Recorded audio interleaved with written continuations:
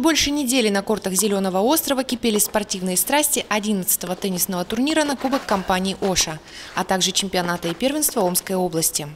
За это время в напряженных матчах сильнейших выявили теннисисты в 11 категориях. Всего в нынешнем году в турнире принял участие 131 спортсмен из 17 регионов России. Турнир э, имеет не только региональное значение.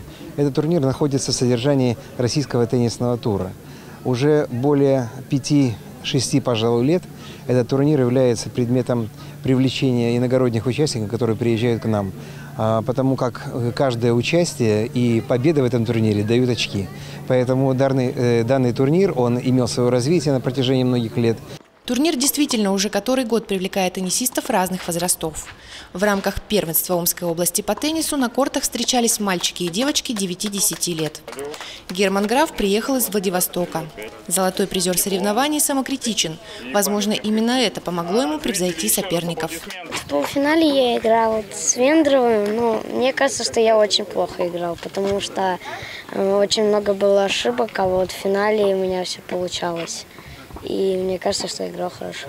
За счет чего получилось выиграть? Как настраивался? Ну, я настраивался на победу, и мне кажется, что э, соперник тоже был такой, ну, не слабый.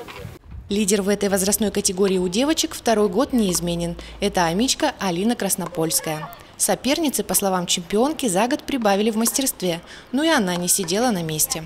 Ну, я тоже начала сильнее бить, укорачивать научилась очень хорошо. Горки делала. Вот это было очень хорошо, мне понравилось, как я играла. Когда выигрываю, например, очень радость. Когда расстра... Я даже не расстраиваюсь, когда проигрываю. Бывает, чуть-чуть расстраиваюсь. Но мне очень нравится играть в теннис.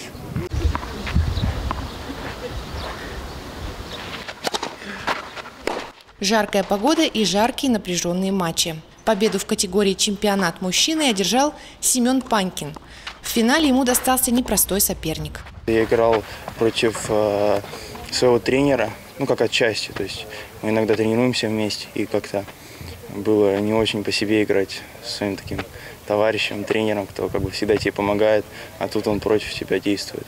Но все равно матч сложился для меня удачно, поэтому я рад, что так все закончилось. Не менее напряженными и интересными были встречи любительского турнира. На кортах царила атмосфера состязательности, борьбы за каждый мяч и каждый сет. Одиннадцатый теннисный турнир на Кубок компании «Оша» завершен.